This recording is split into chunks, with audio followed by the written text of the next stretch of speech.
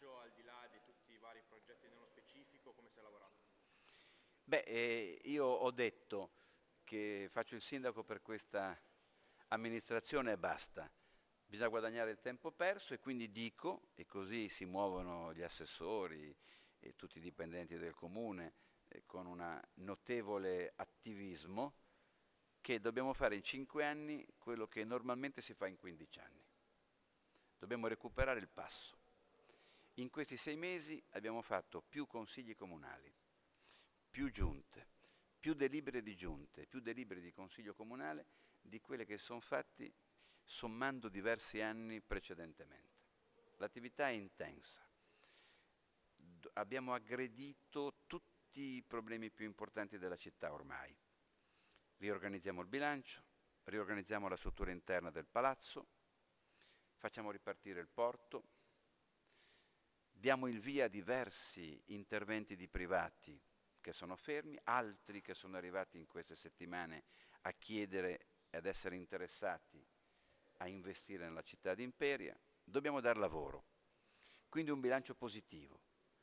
Pensi che nel piano triennale abbiamo inserito opere per un importo complessivo di 50 milioni di euro e devo dire con piacere che in sei mesi abbiamo già attivato il 75% di queste cose. Attivate vuol dire avere già i progetti per richiedere i finanziamenti necessari. Contestualmente abbiamo già incassato in questi sei mesi 12 milioni di euro di risorse importanti per fare cose in comune significative e crediamo di avere e di essere vicini al traguardo per ulteriori opere. Credo che entro giugno avremo più di 20 cantieri aperti. Alcuni sono aperti in questi giorni, avete visto, altri stanno per aprirsi con una serie di gare d'appalto in corso. Quindi sono soddisfatto del lavoro della mia giunta, che è una giunta di valore, sono soddisfatto anche direi del clima in Consiglio Comunale. Un lavoro intenso che dobbiamo fare per dare lavoro ai nostri giovani. dell'Agnesi.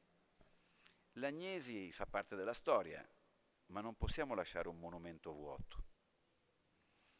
Poteva essere condotta diversa la vicenda Agnesi? Forse sì. Forse qualcosa si poteva riuscire ad ottenere, ma ormai è acqua passata. Abbiamo avuto contatti con i titolari dell'Agnesi, abbiamo detto che lo stabilimento non può rimanere una cosa morta per decenni come è stato per Italcementi, che vogliamo che rimanga però una vestigia di questo stabilimento, vogliamo che ci sia un utilizzo che serva a dar lavoro, il più diverso da valutare, ma vogliamo che siano rispettati anche gli accordi che furono presi allora con l'amministrazione precedente.